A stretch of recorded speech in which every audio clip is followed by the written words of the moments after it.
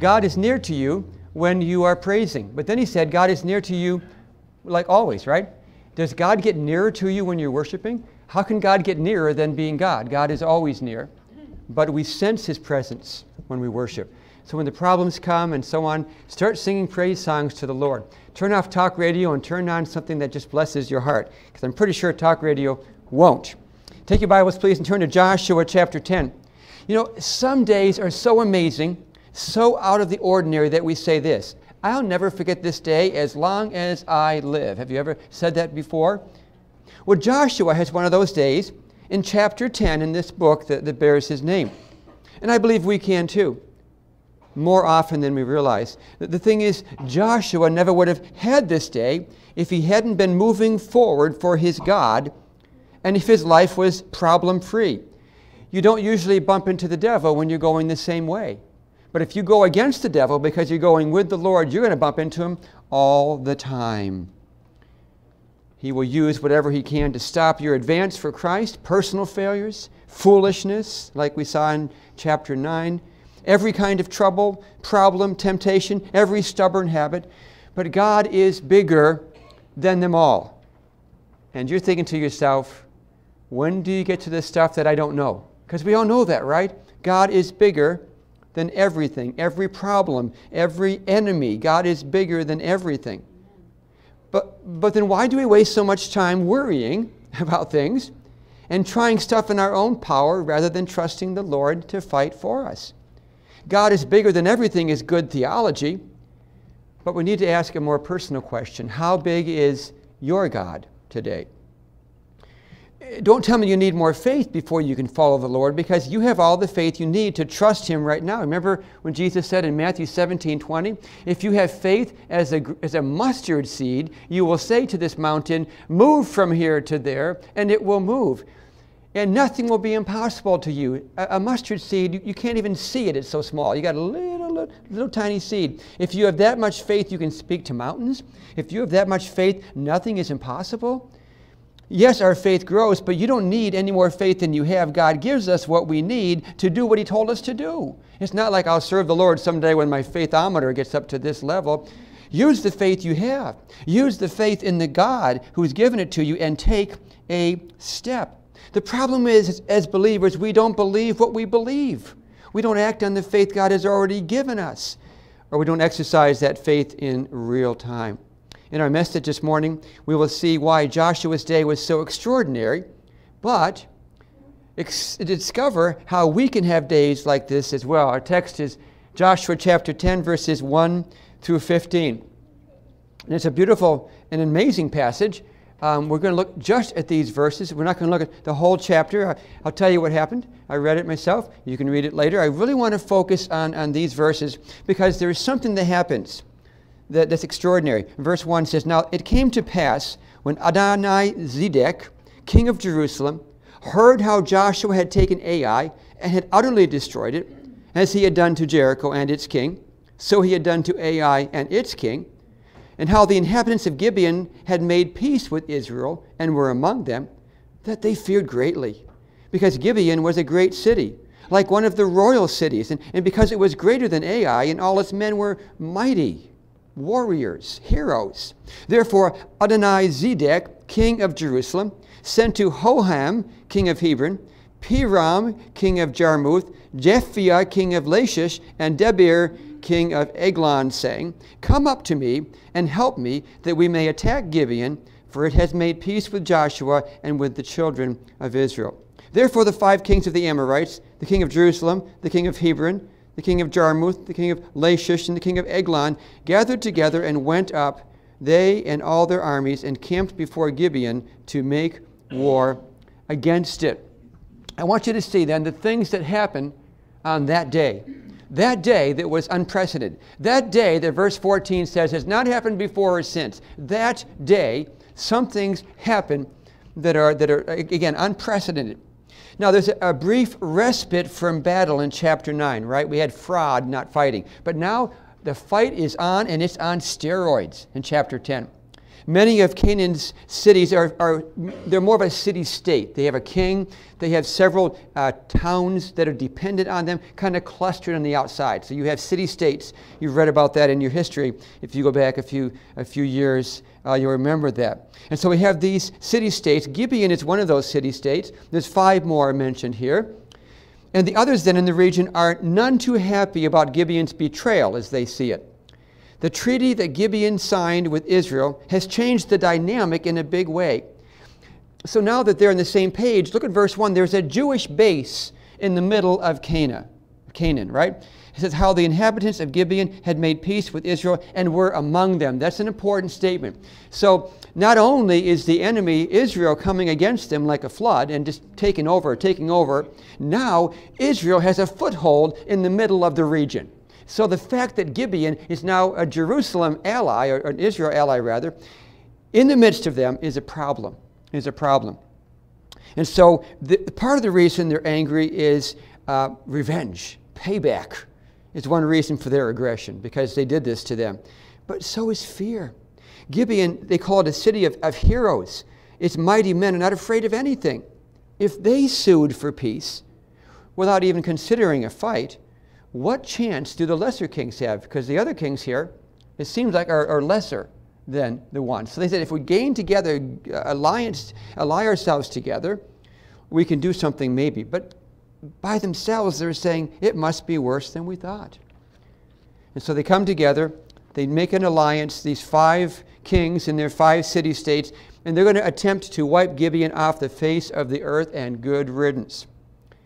So what's going to happen now? I mean, Joshua could say, when he hears about it, oh, that's good, my problem is solved, right? I made that big mistake. That was really dumb. It was wrong. But now, if I delay getting there, no problem. Gibeon, what Gibeon? He could have done that. He doesn't. He's a man of God. But even, even the kings that are coming against them, they're going to see, it's kind of a test. Is Israel going to stand with that treaty? Now, if Israel doesn't, they don't care. They've just destroyed Gibeon. If Israel does honor it, then the kings are going to say, Bring it on. Two birds, one stone. Because the five of us against the two of you, we're liking our odds here. So that's what's going on here. If you see the, the first few verses here. But Israel does honor the agreement. Joshua and the leaders are people of their word and people of God. And so when Gibeon sends for help in verse 6, um, do not forsake your servants. Come up to us quickly. Save us and help us. For all the kings of the Amorites who dwell in the mountains have gathered together against us. This is like an SOS that, that it's very urgent, right? They're here. We need you now. Save our souls. And to his credit, General Joshua just as quickly begins moving his army from Gilgal to Gibeon. Verse 7 So Joshua ascended from Gilgal, he and all the people of war with him, and all the mighty men of valor. Now, this is a 20 plus mile from Gilgal to Gibeon, 35 kilometers. And so it's a hike and it's, it's going uphill. Did you see that in verse 7? So Joshua ascended from Gilgal. So it's an uphill battle. And they got to go 20 miles plus overnight to get there in time. It's good military strategy, right? Because they arrive there with such speed that they catch the enemy totally by surprise. In verse 9, he therefore came upon them suddenly, having marched all night from Gilgal. So the Lord routed them before Israel. So I want you to see here that, that they're coming to the rescue. It's a super speedy all nighter, and they get there. You got the, the Amorites are on the field, part of the Canaanites. You got the Gibeonites, you have the Israelites, but God is on the field as well. Look at Israel's involvement in the fight. With just a few words and great clarity, the account tells us Joshua's army is good at what it does. What do, what do armies do? They kill people and destroy things. That's their two jobs. They do that very well here. And so we see that in here, verse 10. The Lord routed them before Israel. Then we see that Israel killed them with a great slaughter at Gibeon, chased them along the road that goes to Beth Horon, struck them down as far as Azekah and Makkedah, and so we see that Israel kills with a great slaughter, chases them down the road, pursues them, hunts them down, strikes them down. So Israel is definitely doing their job. In verse 11, it talks about the sword being used. So we know that Israel is doing something because God's not wielding a sword in this story. So Israel does have a part to play. But that's just part of the story. God is the victor here. Did you see verse 8? Did you notice I skipped over that? It's not because it's hard to, to decipher. Let's go back to it. On the way there, right? Sometime between help us and the, the, the all night trip, the Lord says to Joshua, Do not fear them, for I have delivered them into your hand. Not a man of them shall stand before you. That's quite a promise. Has God said that before to Joshua? He did in chapter 1, didn't he? I mean, he's been saying that kind of all along. And so he says, Don't fear. I will deliver them into your hand. I will deliver them. In fact, it's a done deal when God says it. Not a single man will stand before you. Now, that's very important. Remember that because from verse 8, Joshua prays an amazing prayer. If he didn't know verse 8, he couldn't pray verse 12. So, this is very important. We'll come back to this. All right? So, Israel's involvement is to break things and kill people, right? And God gives encouragement in verse 8, but he also gets engaged. And we see his intervention. So there is Israel's involvement. Hey, you and I need to be able to do what God's told us to do. But God has his part that he alone can do. Uh, we talk about that with, with uh, witnessing. I want my neighbors to come to Christ, don't you? When I, I, when I walk, when I run, when I drive by my neighborhood, I pray for them. I have the most prayed for neighborhood in the city, maybe, because I go and drive and walk and crawl and shuffle a lot in my neighborhood. I pray for their salvation. Pray by name if I know them, pray by house if I don't. But the thing is, we need to, to understand that God doesn't say to me, okay, you prayed for them, your job is done. He, he sticks a tract in my hand. I need to go and meet my neighbors. And so I need to put feet on those prayers. So there is involvement, but God is the reason that they win. What does it mean in verse 10 that the Lord routed them? It means to throw them into a panic. How many times does that happen? And remember the different times in Scripture where there's a battle and the Lord just kind of shakes them to their toes? That's what he's doing here. It's, it's psychological warfare, I guess. And so Israel is able to prevail. They force the enemy to retreat along a 10 mile path to the south Verse 11, and it happened as they fled before Israel and were on the descent, so we're going down here of Beth Horon, that the Lord cast down large hailstones from heaven on them as far as Azekah, and they died. So there were more who died from the hailstones than the children of Israel killed with the sword. There's a lot of neat, neat things here. But I was going to show you a picture. I forgot to get one to, to the uh, secretary to put up there, but I want you to picture this if you can. It's a 10 mile path to the south. It's a trail that drops precipitously 700 feet in less than two miles. And it's all uh, rock and it's built in, in steps. So the people of the Amorites have been routed. They're running away. They're dying as they go. Israel is, is pursuing them. In fact, there's high ground on either side. And so Israel has the high ground, but God has the higher ground because he's throwing stones at them. Large stones. Now, they're heavenly hailstones, but these are big stones. I mean, in that area, there's huge stones anyway, like, you know, six, eight inches. But this is even extraordinary compared to that. The word for stones is the same word. Every time you see the word stones in the book of Joshua, it's the same word. So I don't know, some of the stones like made making altars, that's a big stone. So God is throwing these stones on them as they're running away. So God is fighting. That's the first of two miracles of intervention, by the way, the, the heavenly hailstones of tremendous size. It's very selective because the stones are not falling on the Israelites, right? And can't God do that? Doesn't He do that with, with Goshen? You know, that all the plagues of Egypt, they came on the Egyptians and not, not the, uh, the Israelites, the Jews? God can do that. He's doing that here. So they're very selective and they're very effective because in verse 11, more were killed by the hailstones than by the swords of the whole army. Remember, the army, he has 701,000 plus fighting men available to him. That's a lot of swords. But God is doing something, God's intervention. Now, you'd be forgiven if you didn't remember the stones because of the second thing that happens. Because all we know about this passage is what? The sun stood still. So let's get to that part. If I had sleeves, I'd be rolling them up right now. All right? Then, verse 12 Joshua spoke to the Lord in the day when the Lord delivered up the Amorites before the children of Israel. And he said in the sight of Israel, Sun, stand still over Gibeon, and moon in the valley of Ajalon. So the sun stood still, and the moon stopped till the people had revenge upon their enemies. So picture this, please. Israel is in full battle gear and they're running after the enemy. Think of the, the screams and the cries, cries of fear and panic from the Amorites, cries of bloodlust to be honest with you, from the, the Jewish people. And they're running after them pell mell down this thing, 10 miles. They're, God's throwing in stones. And Joshua looks up and the sun is going down.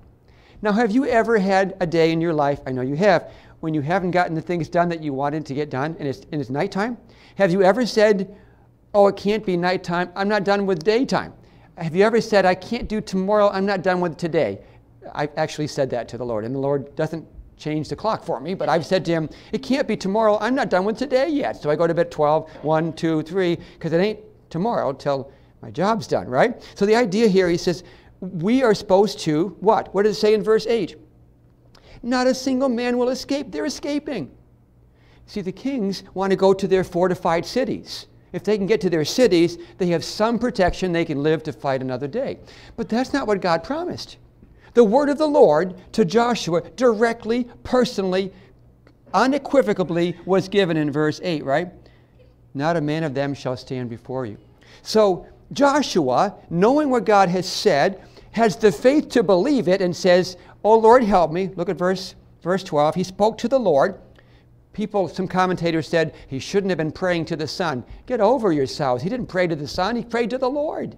He spoke to the sun after he prayed to the Lord. That's so obvious that shouldn't even be spoken. So forget that I did. It's already, you didn't even think that. You didn't even worry about that, did you? But there's this thing about the sun thing. So so I, have looked at like 12 or so books, just try to get other commentators' idea because there's some heavy stuff going on here. So I talk to the Lord, I read his book, I read other books. That's okay. Don't feel sorry for me. I love to read. All right? But I find some interesting things. Here's the top four options about what really happened. Number one, the sun standing still. Those words are poetical. It's just an allegory. It didn't really happen. He just said, God take care of me, and God took care of him. That's the first option. Second option, the sun's rays are merely refracted in a way that makes it look like the sun stood still. There's a commentary I'm not buying, and I got it from the library, not ours. The third thing, Joshua isn't asking for a longer day at all. One guy said he's just asking for relief from the heat of day. Is that what your Bible says? All right. Here's the fourth option the sun and the moon stood still. Full disclosure I have a policy about things that God says He's done. I believe it. I'm not going with one, two, or three.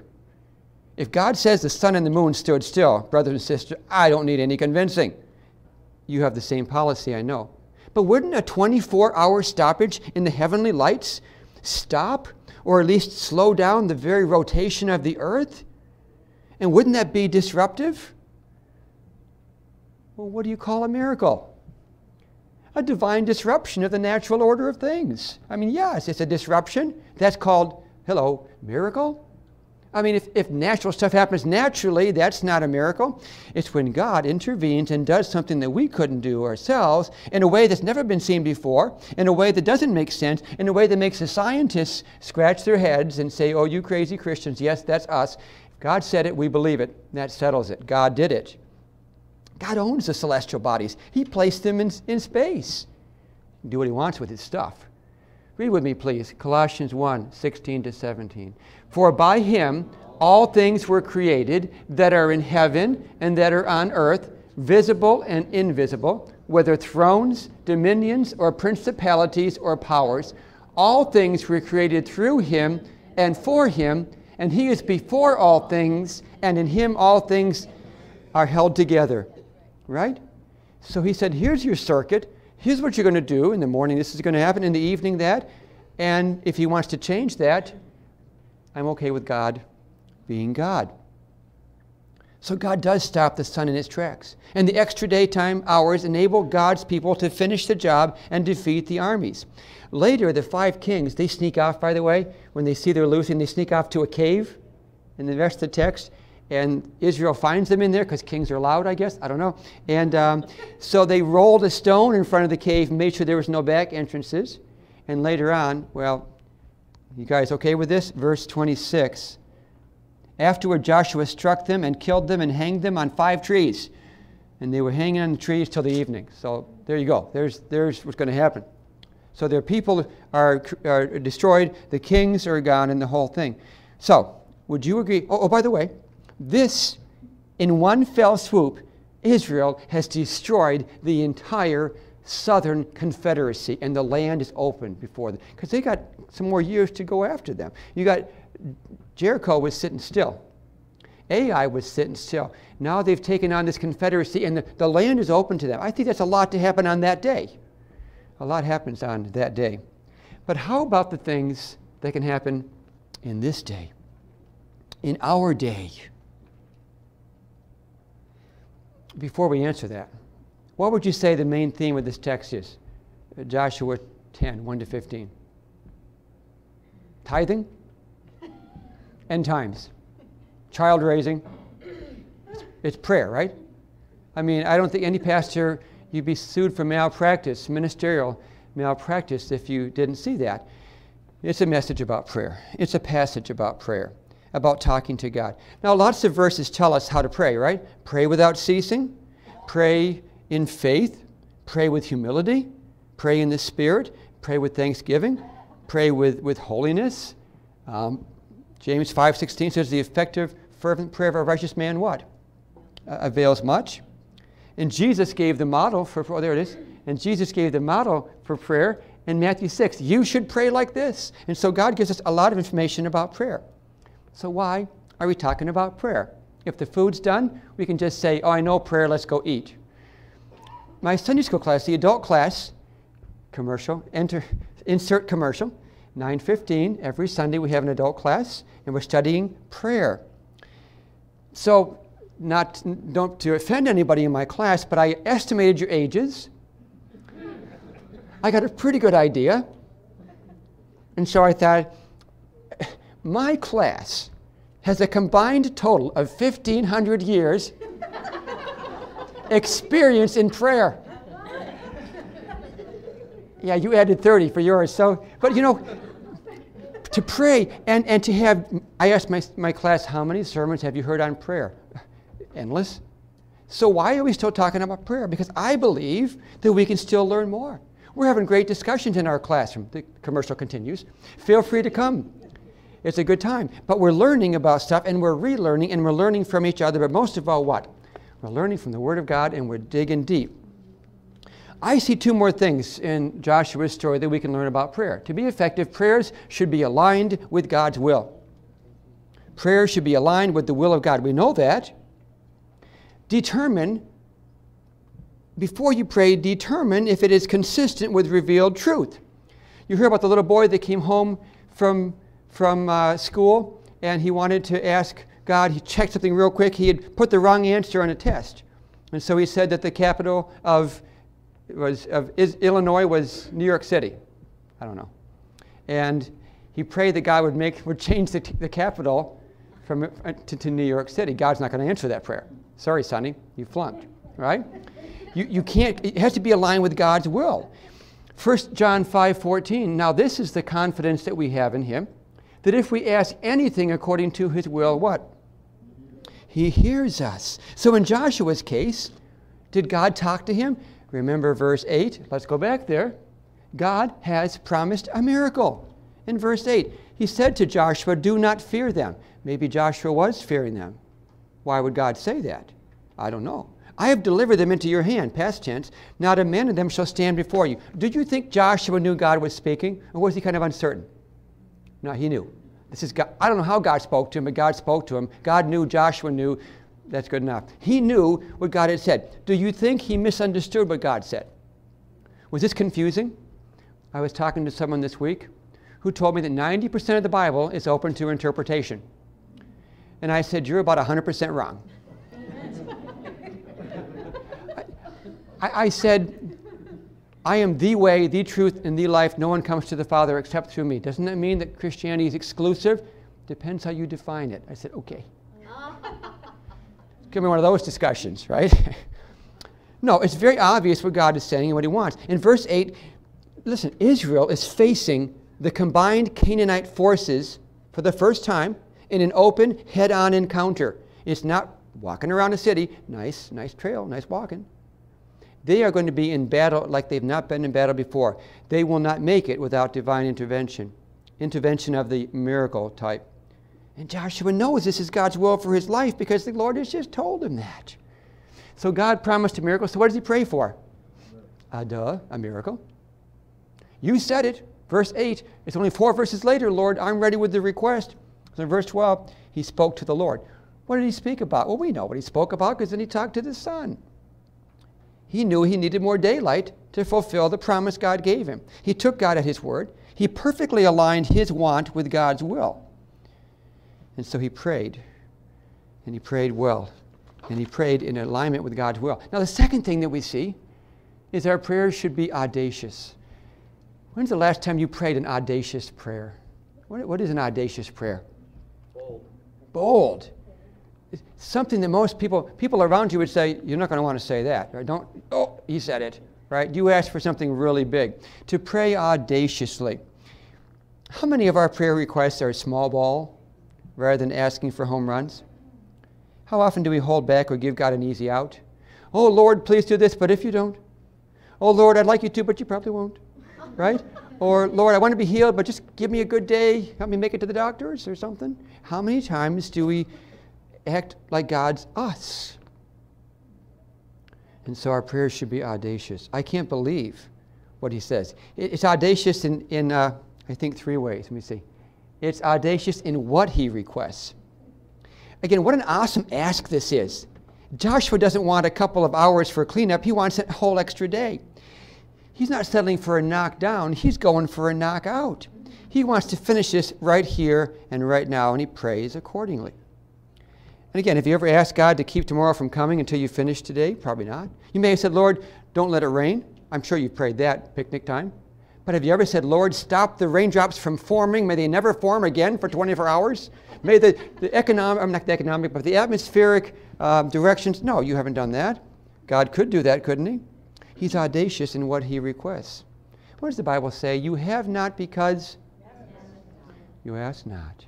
And when you do ask, sometimes you ask amiss, right? You can consume it on your lust. But He says you have not because you ask not. So listen, put this in the Old Testament. If Joshua had not asked for the sun to stand still, would it have stood still? I don't think so. It would just keep on skipping through its day like regular stuff. The moon would do the moony thing, the sun would do the sunny thing. Joshua would not have gotten the battle done. It's audacious because of what he requests. It's also audacious because of where he requests. Sometimes the battlefield is better than the prayer closet. Sometimes public prayer is needed, but it ratchets the whole thing up when others are aware of what you're praying for. Do, let me ask you a question. Do you pray differently in public than you do in private? I bet sometimes we do. The, the, the, real need of my heart, God already knows it, so I can be very honest, but maybe I'll give you an unspoken request to the crowd. But no need to do that with God. Do I sometimes say, God, I really need this miracle? But when I'm praying with everybody else, maybe I, I don't quite believe. I don't know, but I think it can happen. And the interesting here, thing here is he says in verse 12 Joshua spoke to the Lord in the day when the Lord delivered up the Amorites before the children of men.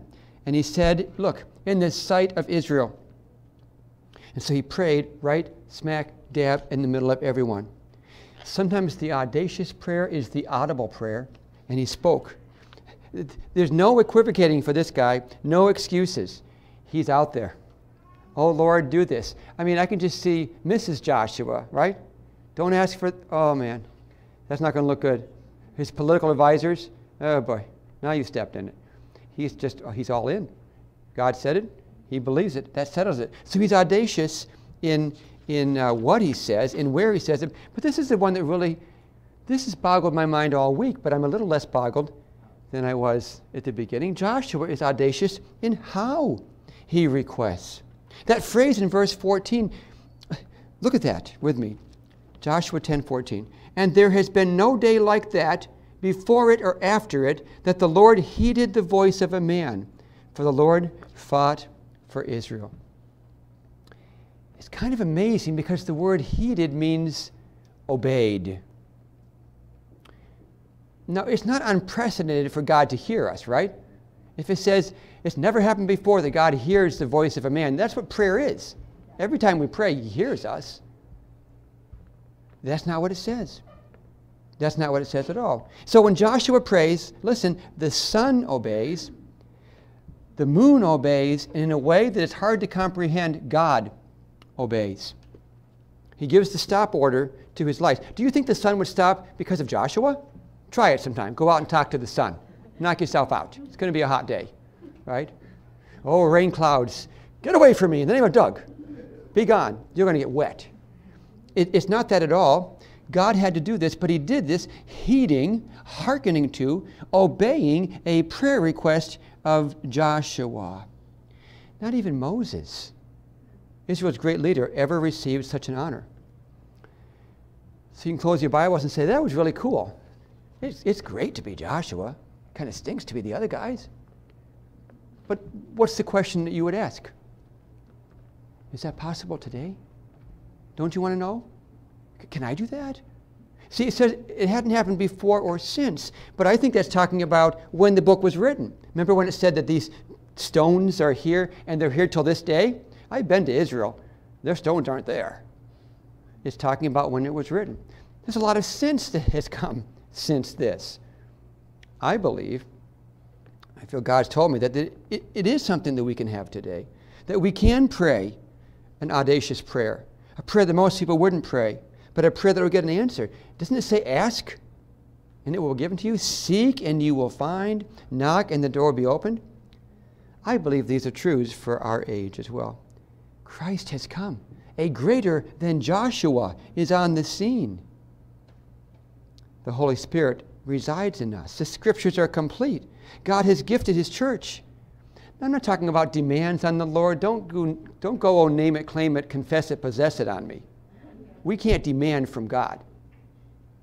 It's discernment of his will, not demanding of his will. Right? He is sovereign. He's not servant. He's not my personal attache. Put in the right number, out comes, you know, help me God, 1 800 God. It's not like we can do that. We have no right to tell him what to do. We cannot demand, but we can learn his will and lose our will in his so that his authority will be seen in us and through us. The matter is authority, something God already has, and we will need at different times in life. Remember before the Great Commission? Go into all the world and give the gospel. What's, what comes before that? Remember? Jesus said, All authority is given to me. Go therefore. Therefore connects my going with his authority. So when I go in Jesus' name, Jesus just went, right? It, it, it's an amazing thing that the authority God gives us enables us, us to do things that we could not do before. And I believe in that way God is heeding us because we're in His will, because we're in the Scripture, because we're walking in the Spirit. Remember Jesus' disciples upon their return from a ministry assignment? Turn to Luke chapter 10.